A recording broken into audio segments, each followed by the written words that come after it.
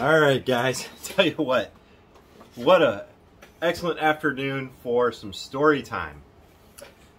So, a couple years ago, when I was living in Charleston, South Carolina, uh, my wife's friends, who are um, some of her Latin friends, she's from South America and she grew up in Ecuador, and she had some friends from Colombia that came by, and we spent Christmas together.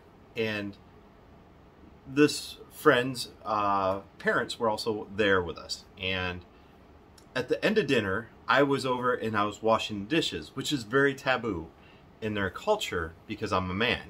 All right. Well, they were kind of telling a joke about it, and uh, I seen the mother of the friend ask my wife, "Why does he do that?" And uh, you know, it's it's one of those things where uh, my wife and I have always been uh, a 50-50 relationship. Like if she cooks, I'll wash dishes, vice versa. You know, one day I'll do it, one day she'll do it. You know, we never really set up a schedule or anything, but you know, we always help each other and everything. And I was thinking, I, I told them that night why I do it. Because when we're at work, we are constantly thinking. You are constantly grinding your gears, and everything is about now, now, now and you have to think about multitasking. Who do you contact to do this? Is this okay? I need to order these parts. I got these many metrics for the month.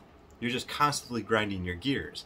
So when we get home, it's nice to be able to do some of these mundane tasks like mowing the lawn, washing dishes, you know, uh, even folding laundry. Yeah, it's the craziest things.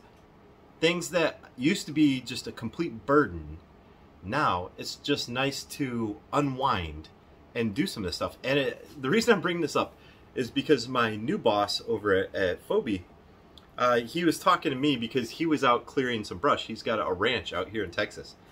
And uh, he's telling me how nice it is to get out sometimes and just do some uh, manual labor and it knocks the rust off your soul. And I was telling him, you know, you're exactly right. Because we all do things that helps us unwind. And it's always some stupid task that just has to be done. And it's usually some sort of manual labor where it you know we don't have to grind our gears to achieve it or to accomplish it. You are accomplishing something but it doesn't take uh, a lot of mental anguish to to make it happen. So uh, i was thinking about that when he was telling me about his ranch and how he just sometimes likes to get out and do uh, manual labor, like cleaning up the grounds around his ranch. And I was thinking, you know, it's the same same exact thing. I put on my headphones and I've got one of those electric mowers. And I'll go out and I'll mow the lawn and it's a semi-enjoyable task, you know. I, I just grind into my music and uh, just doing the lawn. And it's funny how your views on things change you know, not only as you get older, but like when your job migrates into like management and stuff like that, uh, it's nice to unwind. So I, I obviously I make videos to help me unwind, but even these videos sometimes require a hell of a lot of thinking.